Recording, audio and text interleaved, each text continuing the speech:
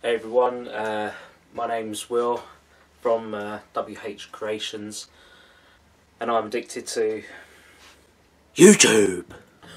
My first ever video I made was a whiskey decanter box. I crudely drew a design on the back of an envelope and because I was so excited about making my first ever video I jumped in and totally forgot exactly what I was going to be doing next. The shop was a complete mess and I had to keep manoeuvring over uh, all my tools and all the wood that I had laying around just so I can get certain shots. At this point I'd watched so many YouTube videos that it was almost like watching a great sports person like your Ronnie O'Sullivan in snooker and it just looks so easy. The build went on and if I'm honest, I messed up the final product. Don't get me wrong, it still looked good and it was heartbreaking to hand it over at the end. But unfortunately, during the editing, this happened. My first ever video was going to be marred by corrupt video footage. But did I let that get to me?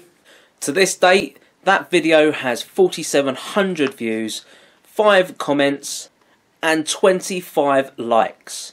Over the past year, I've produced 40 videos and over this time I've been able to use many different techniques. I mean, we all want to be the next DiResta, Wilkerson, Jacobson, or even a Swan, but it's just not possible. These guys and ladies are just incredible at what they do.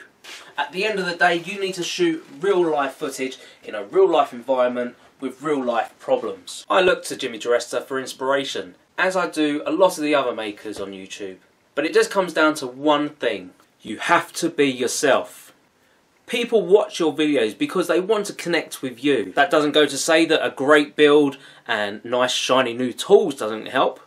But overall, your audience want to see someone that they can relate to. Personally, I suffer with depression and it's something that I've highlighted in a previous video.